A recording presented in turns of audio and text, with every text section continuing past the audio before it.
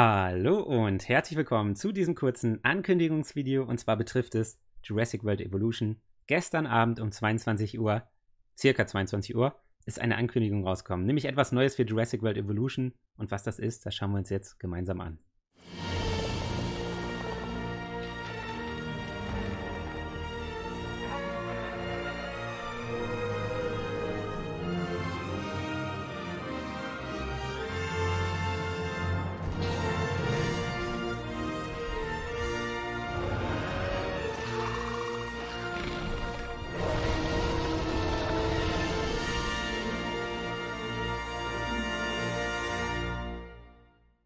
Ja, Leute, wie wir alle schon erwartet haben, kommt endlich das 1993 Jurassic Park DLC raus. Das Ganze heißt Return to Jurassic Park, wie ihr hier oben seht. Ähm, ich habe keine Ahnung, wie teuer das sein wird oder sowas. Die Infos sind noch nicht bekannt, aber wie gesagt, es kommt am 10. Dezember raus und bei diesem kleinen Trailer, da sieht man ja auch schon einige interessante Dinge, die das Ganze betreffen.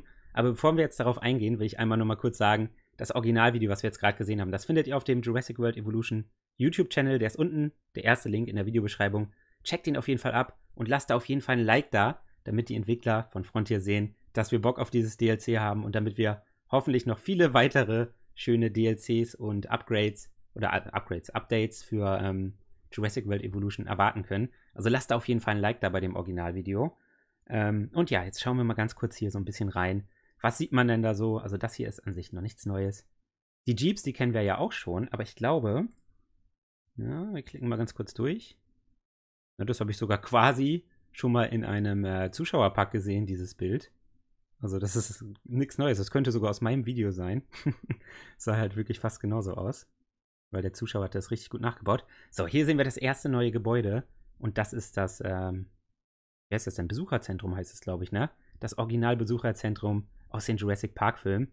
Mega, mega cool, mega nice. Sieht richtig, richtig cool aus. Also ich glaube, wir werden auch richtig viele neue Gebäude kriegen. Wahrscheinlich viele Gebäude in diesem Stil mit diesen Strohdächern und sowas. So wie man es halt auch von äh, Jurassic Park Operation Genesis noch so ein bisschen kennt.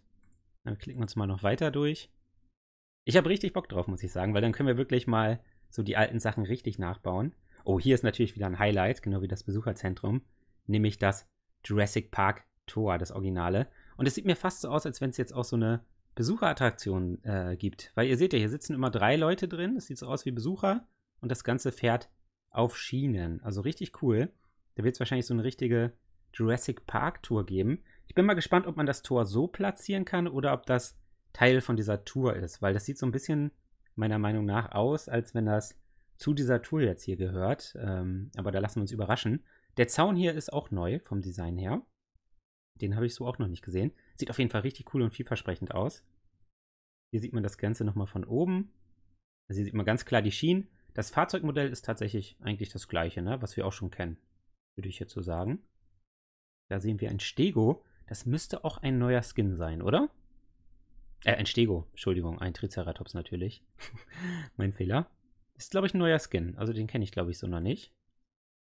Schreit er nochmal. Hier sehen wir Dilos, das ist ganz normal der Standard-Skin. Die dürfen natürlich nicht fehlen. Und das ist ein Velociraptor. Der sieht aber auch ein bisschen anders aus, oder? Okay, schreibt es einfach mal in die Kommentare, falls ihr da einen Unterschied seht. Ich weiß nicht, ob ich den Skin schon so kenne oder ob der sich allgemein so ein bisschen optisch verändert hat. Bin ich mir gerade nicht so sicher.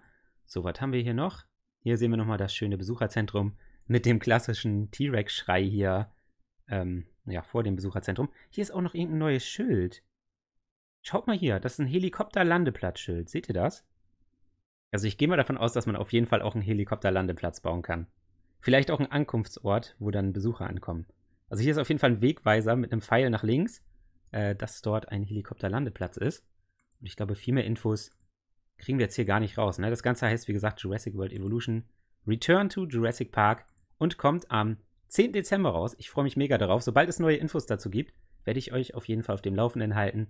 Ansonsten würde ich sagen, bedanke ich mich vielmals für eure Aufmerksamkeit. Falls euch dieses Video gefallen hat, würde ich mich sehr über ein Like freuen. Macht's gut, haut rein. Euer Dandy.